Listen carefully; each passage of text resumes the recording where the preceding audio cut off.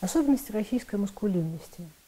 Для того, чтобы их понять, нам необходимо обратиться к советскому периоду истории, который от нас э, как будто уже отделен каким-то периодом времени, в то же время совсем недалеко. Маскулинность наших отцов, условно говоря. И э, надо сказать, что советский гендерный порядок обладал достаточно большой спецификой.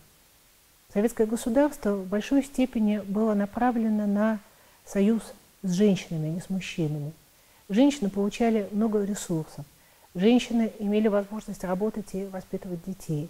Э, очень многие ресурсы приобретались по месту работы независимо от статуса, который занимала работница. Так, предположим, даже уборщица на предприятии могла получить путевку в пионерлагерь для своего ребенка, детский садик и так далее. В этой ситуации женщины имели относительную независимость от мужчин. И положение мужчины в семье – было достаточно маргинализированным. То есть он не обладал э, возможностью полностью определять порядок своей семьи. Взамен этого предполагалось, что мужчина служит государству, и все его мужские доблести реали реализуются именно на службе государства, именно в публичной сфере. И степень связи мужчин с государством, служение государства должна была быть очень высокая, она всячески романтизировалась. Вот если мы вспомним классический советский фильм «Офицеры», Здесь мы видим такой идеальный образ советского мужчины. Он воин, защитник, он благородный человек. Семья э, находится у него определенно не на первом плане, она как-то перемещается вслед за ним, но главное его отношение – это отношение к государству. А я вот, представьте, всю жизнь гордился своим делом. И отец моим гордился, и дед. Но другие богатством гордились или знатностью, а мы – профессией. А что это за профессия? родину защищать. Есть такая профессия взводный. Когда наступили 90-е годы, и когда советский режим ну, пришел к своему краху, гендерные правила игры очень сильно изменились. Но на самом деле корни этих изменений находились еще в поздний советский период. По мере того, как ветшала советская идеология, ветшали гендерные идеалы. Когда уже не с кем было воевать, когда время Э, героического труда тоже закончилось, возник такой разочарованный герой, который не знает, что с собой делать. Мужчины оказались перед очень серьезным вызовом, потому что традиционные сферы их самореализации иногда просто перестали существовать.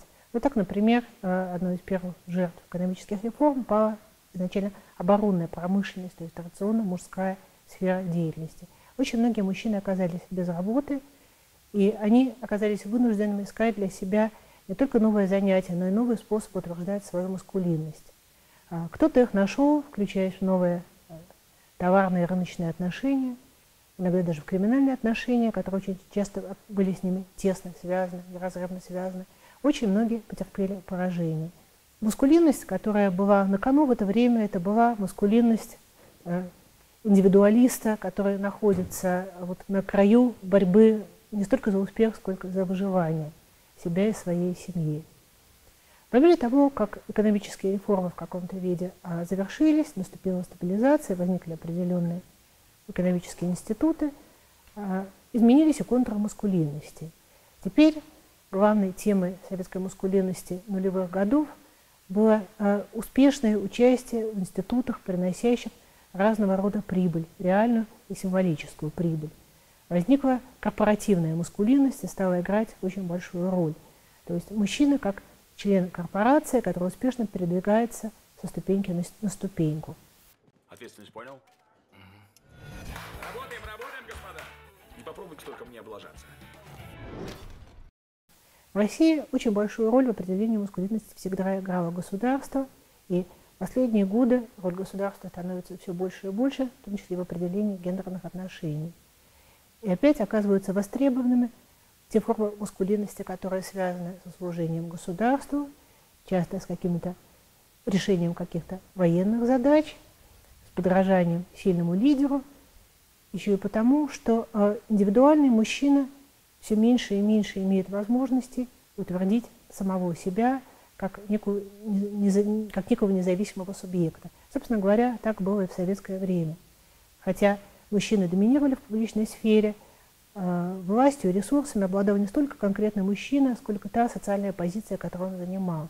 А человека, который занимал эту позицию, всегда легко было поменять. Таким образом, маскулинность нулевых годов – это была классическая капиталистическая маскулинность, связанная с борьбой за прибыль, связанная за место в корпорации. Но корпоративная маскулинность э, хорошо работает во времена экономической стабильности. Во время кризисов э, она уже не гарантирует достижение ресурсов, достижение позиций успешного мужчины. Остается привыкать к каким-нибудь другим институтам, которые по-прежнему обладают силой и властью, например, институтом милитаризированным. Но Поскольку правила игры все время меняются, ситуация успеха не гарантирована отныне ни одному мужчине ни в каких обстоятельствах. Вызов приходит с обоих разных сторон, и никакой институт во время кризиса, никакой социальный институт не может быть достаточно надежным для того, чтобы утвердить маскулинность даже чисто символически.